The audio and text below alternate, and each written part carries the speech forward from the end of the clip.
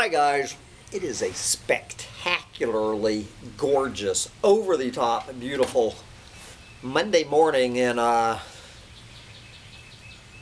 in uh, this is the last time I'm going to say this. Uh, it is a gorgeous Monday morning. That would be 420, April 20th, 2020 in the Orwellian police state lockdown of Garfield, Texas. And I am Sam Mitchell, and this is my little co-pilot, Sancho Panza. And I'm sure most of you will be thrilled to hear this.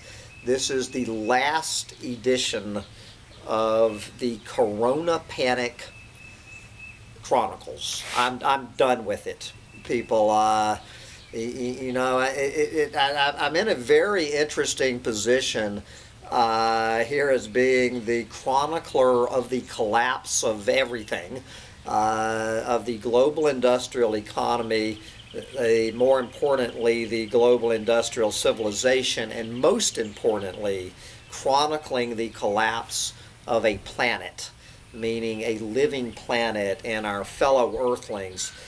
And I, am just, uh, I, I'm just raising the white flag uh, I have I, have I've, I've had enough of this pointless debate.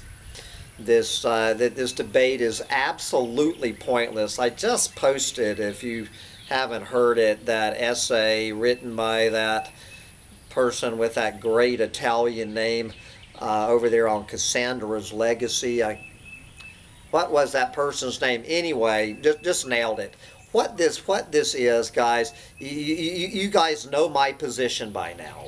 At least a few of you who have not canceled your subscriptions, the damage this this uh, pointless debate is having to this channel is simply not worth it.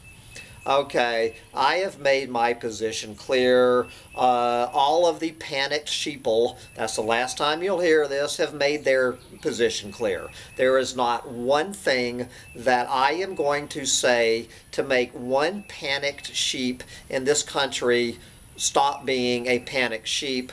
There, uh, there is not one thing that a panicked sheep is going to go bah, bah, bah, to me to make me change my mind. Okay. I, I, am just so sick and tired of all of this crap, like this Huff Post article I just read about how the only people uh, calling the cure for the coronavirus worse than the disease.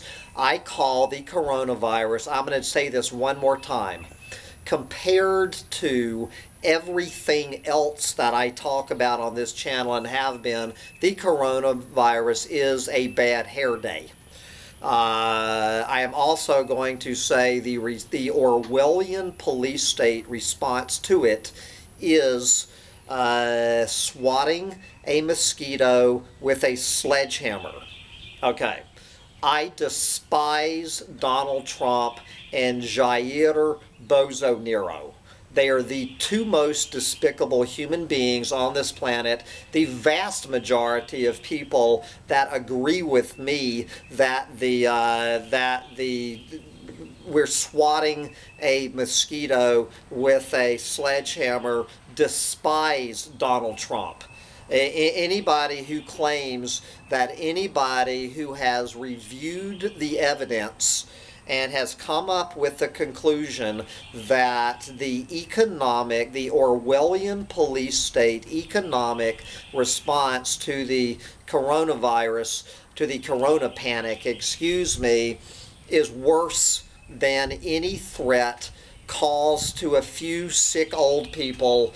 Uh, is a right-wing Alex Jones boot-licking conspiracy theorist I, am sick and tired of hearing it. Uh, the, as I say, the most the, the majority of people I know despise Alex Jones, David Icke, Donald Trump, Bozo Nero. It has nothing to do with anyone's political orientations. Uh, I, I have researched the evidence from my point uh, of view as a as a journalist. The and the evidence after listening to all sides is that uh, certainly uh, the toll to the economy uh, and therefore to humanity is going to be a hell of a lot worse uh, with these Orwellian police state lockdowns. Uh, but more importantly, uh, what I am more concerned about is our fellow Earthlings. And uh, I have, I have, I don't know how many of these uh, videos I have done. I did a whole video from Manga Bay on Friday, example after example after example after example after example after example after example after example after example after example. Do you get it? That uh, the the Orwellian response, the the lockdowns uh, are going to cause more death and destruction to our fellow earthlings uh, than if we just let this thing burn, baby burn, do what pandemics do, uh, weed out a few humans. Uh, but the bottom line is, guys, as they were pointing out in that, that excellent essay I just read in that other um, video that it makes no difference which side you want to choose on this. This divide and conquer, which of course is one of the great Orwellian police states right out of the playbook, divide and conquer the clueless sheeple, get them fighting among themselves. That is exactly what they want us doing. So I'm not going to play into that game anymore. I've stated my opinion. Uh, my opinions is as valid as your opinion. Uh, we all have an opinion, and we all have a you know what, and they're about equal to each other. Uh, don't get me going with swatting another honeybee. Uh, the bottom line is it makes no difference whether we stay in this jackboot uh, Orwellian uh, police state lockdown or whether we, what did uh, supposedly my hero, what did he say, liberate? liberate. Uh, it makes no difference. A hell of a lot of people are going to die. I have never in my entire life denied that a shitload of people are going to die from the coronavirus. Okay, uh, it, it makes no difference which way we go. A lot of people are going to die from the coronavirus. It makes no difference which tack we choose, and this is more important to me, a hell of a lot of our fellow earthlings are going to die.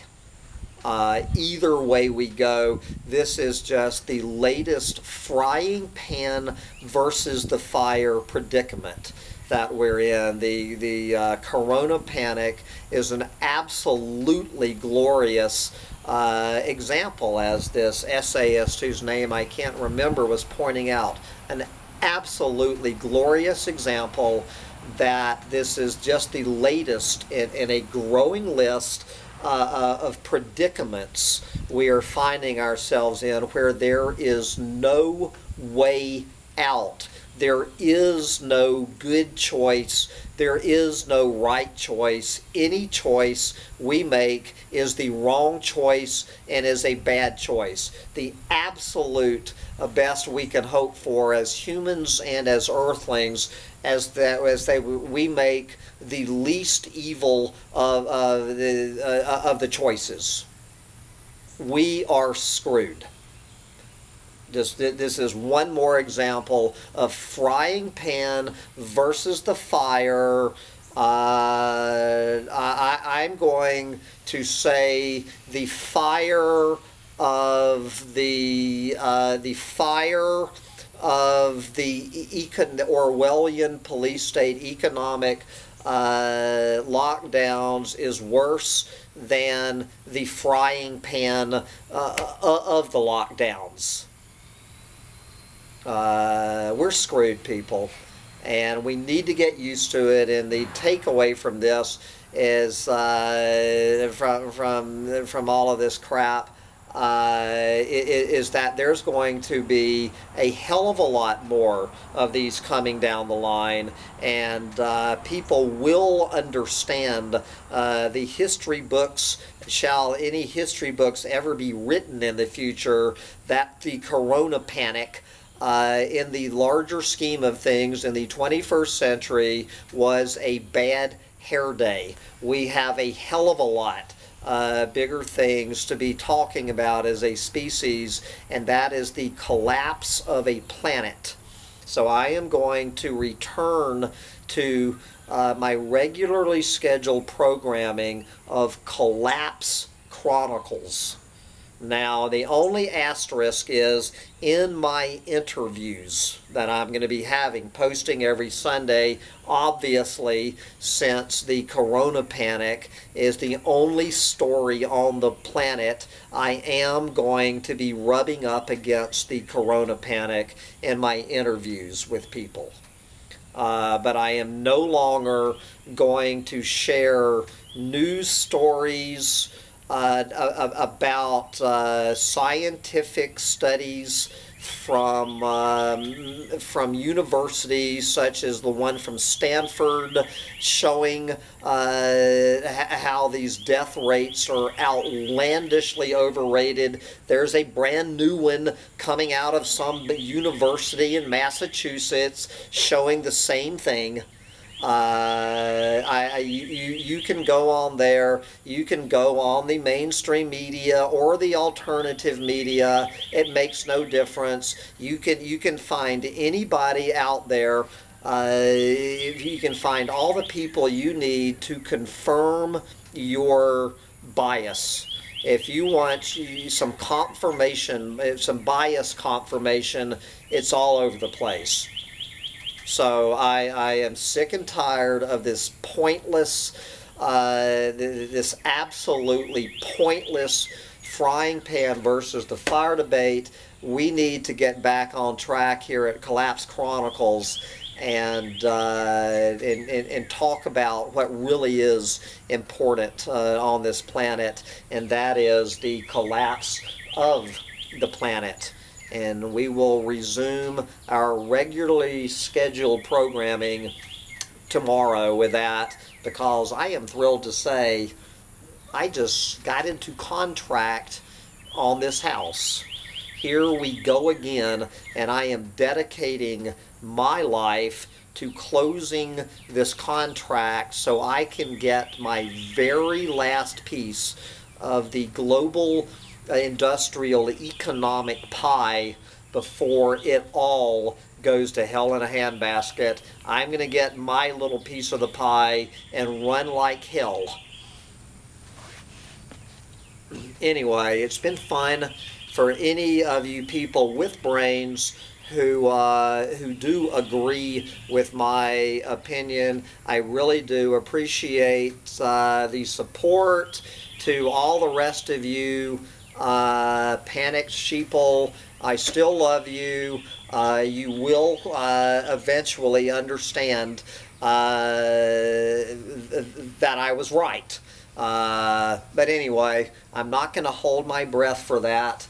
But I still love you, and let's get back to finding some common ground about all the ways we and this planet are screwed uh, with or without any help from the corona panic. Is that a deal? Truce.